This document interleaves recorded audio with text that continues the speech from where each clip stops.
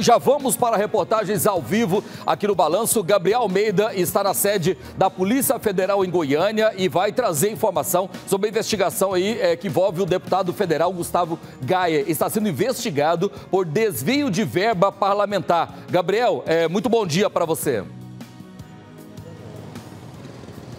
Oi, Loares, bom dia para você, bom dia a todos que acompanham o Balanço Geral. Desde as primeiras horas desta sexta-feira, a gente acompanhou então a ação da Polícia Federal aqui em Goiânia e também em outras cidades do estado e também no Distrito Federal.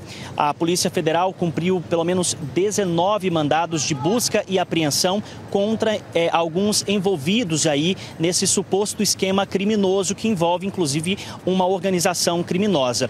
Entre os investigados está o deputado federal Gustavo Gustavo Gayer, do PL. A polícia chegou na casa dele hoje por volta de 6 horas da manhã e, segundo o deputado, inclusive acordou ali com a presença dos policiais. Ah, os policiais cumpriram mandados de busca e apreensão, inclusive levaram o telefone do deputado federal Gustavo Gayer. A polícia cumpriu também um mandado de busca e apreensão na casa de um dos assessores do deputado e lá os policiais encontraram cerca de 72 mil reais em espécie, dinheiro vivo. Todo esse dinheiro também foi apreendido e todo esse material foi trago aqui para a sede da Polícia Federal em Goiânia. Inclusive, hoje de manhã, nós conversamos com alguns policiais que participaram dessa operação e o delegado Martins, que era o responsável pela operação aqui em Goiânia. Ele disse que por volta de 8 horas todos esses mandados já tinham sido cumpridos. O deputado federal Gustavo Gaia chegou a publicar um vídeo nas redes sociais em que ele disse que não sabia do que se tratava até mesmo essa operação, até porque o processo era um processo físico e não digital e que os advogados dele iriam então solicitar acesso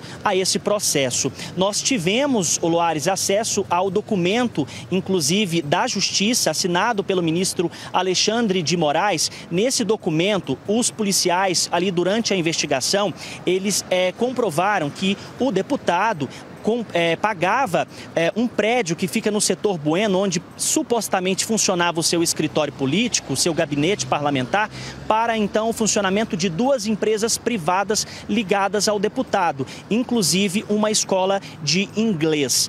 E também teria contratado um assessor parlamentar para fazer ali essa assessoria através de uma empresa privada, porque a, as investigações elas começaram depois da apreensão de um telefone celular durante aquele, aquela operação da Polícia Federal na, na operação contra os atos antidemocráticos do 8 de janeiro. Lá durante essas operações, a polícia apreendeu o telefone celular de um homem e aí descobriu todas essas situações, começou então a investigar esses crimes em que supostamente o deputado federal Gustavo Gayer está envolvido. Só uma informação importante: nesse documento, a polícia diz que para o pagamento desse prédio onde supostamente funcionaria o gabinete parlamentar do deputado, ele fez pagamentos que variam entre R$ 6 mil e 6.500 reais mensais. E para esse assessor pago através de uma empresa que emitia notas fiscais para é, propaganda e marketing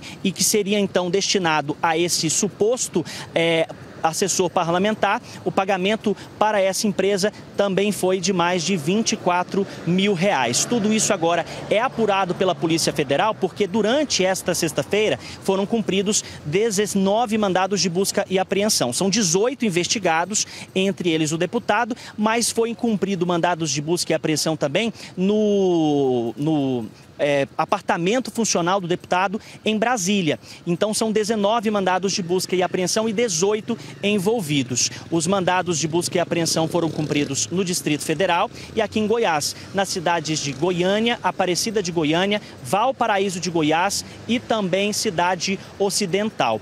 Agora, esses documentos vão ser analisados pela polícia, esses celulares apreendidos e todos esses materiais vão passar por uma perícia, vai ser tudo ali analisado e isso vai então orientar as investigações. O deputado é suspeito, ele não tem nenhum mandado de prisão em aberto e ninguém foi preso durante essa operação, apenas cumpridos mandados de busca e apreensão. Ainda hoje, Oloares, eu volto com mais detalhes desse caso, até porque o deputado Gustavo Gaia se pronunciou nas redes sociais.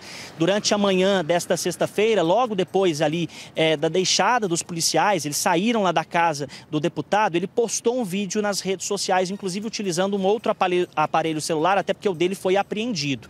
E ali os policiais, é, então, depois de cumprir esses mandados de busca e apreensão, saíram. E ele postou nas redes sociais esse vídeo, trazendo mais detalhes, é, inclusive falando que tudo isso é perseguição, é culpa do sistema, porque aconteceu essa operação há dois dias das eleições. Ô Loares, eu volto com você. Daqui a pouco, então, tem uma reportagem completa a respeito desse assunto, inclusive com o posicionamento do deputado federal Gustavo Gaia. Muito obrigado, Gabriel.